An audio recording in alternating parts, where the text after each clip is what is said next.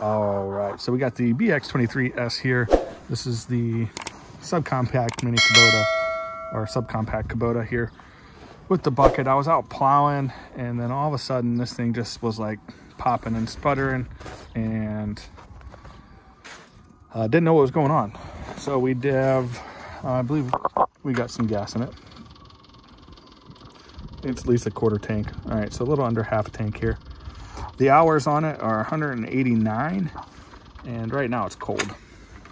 But not quite sure what was going on, but this thing just started missing like crazy, blowing black smoke.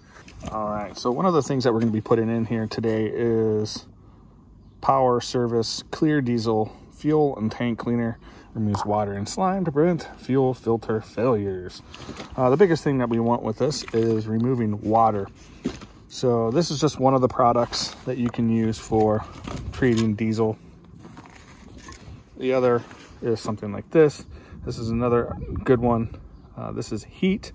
Note that this is Iso-HEET for diesels. So don't use the yellow one, use the red one. Um, and I heard people use 70% alcohol too as well to do this. The issue is that the fuel is has water in it. So the only thing I can think of is when I was helping um, an individual out, he had an extra five gallons of diesel laying around um, for his tractor. And I think it was just his backup diesel. And I don't know how long it's been sitting. So this has been in here for maybe two months.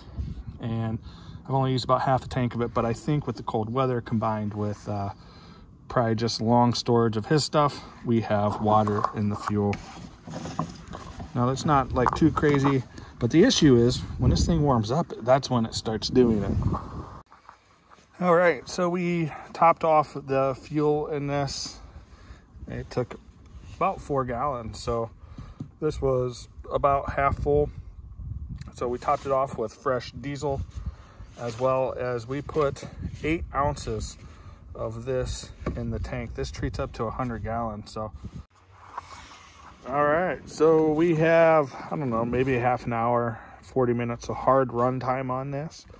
And I am happy to say that uh, that was the issue.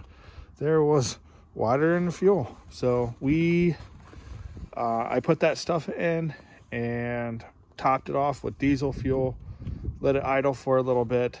And, and now this thing's running like a champ again. So really it boiled down to uh, bad fuel for that. So hope this helped somebody else out. I did see that there's a, they were talking about the fuel filter under here and as well as underneath the machine to be changed. I'll probably have to do that here. We're at a 200 hour service anyways, or almost to that. We're about at 190 hours on this machine. So it really doesn't have that many hours on it. So hopefully this helps you out if the machine is running like this then all you got to do is just treat the fuel and uh, worst case scenario, change the filters out and siphon the fuel out and hopefully you'll be able to get back to doing what you were doing and what this thing was meant for. So hopefully this video helps you. Go ahead and give it a thumbs up, subscribe to the channel if it helped you, and I will see you guys next time.